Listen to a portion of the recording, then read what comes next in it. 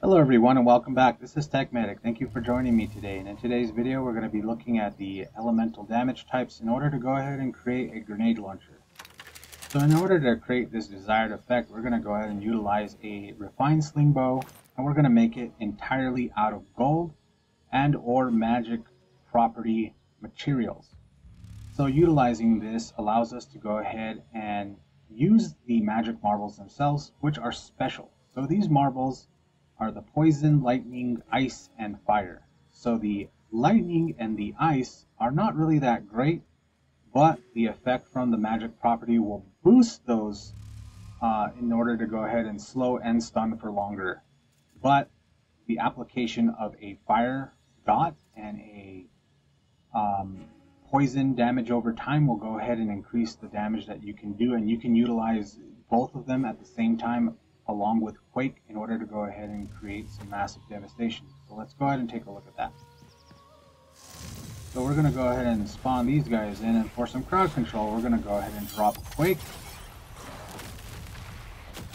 Then we're going to hit them with a Poison Marble.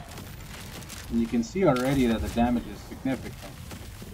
So now that we got all these three effects going on, and that guy was out of range, but it gets a pretty good range, especially if we can get all these enemies inside of a desired choke point, you can go ahead and mow down anything. And with the quake going off, you have the disruption of that there. So these marbles will go ahead and splash off of any surface.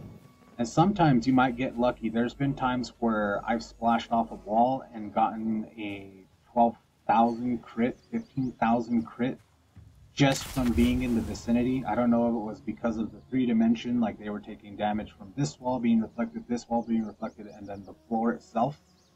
But I was able to go ahead and kind of uh, see those numbers.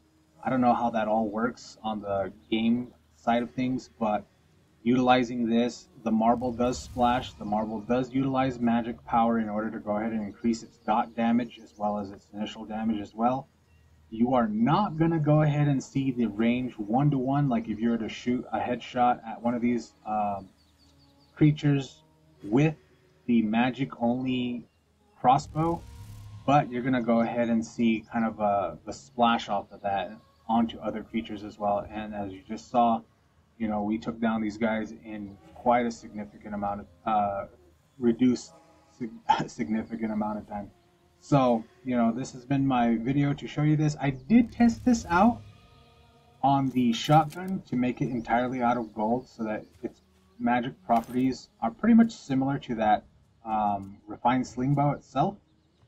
But, you know, the damage off the range from itself is 3,000 less than the one that is made out of entirely ranged metal properties.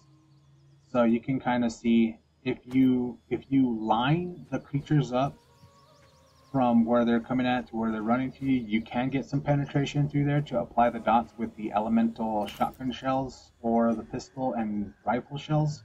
But I find that utilizing the marbles and having this ability to go ahead and create a splash grenade uh, is really useful. So anyway, I hope you guys find this helpful. And if you made it this far, please like, subscribe, comment, and we'll see you all in the next one. Happy hunting.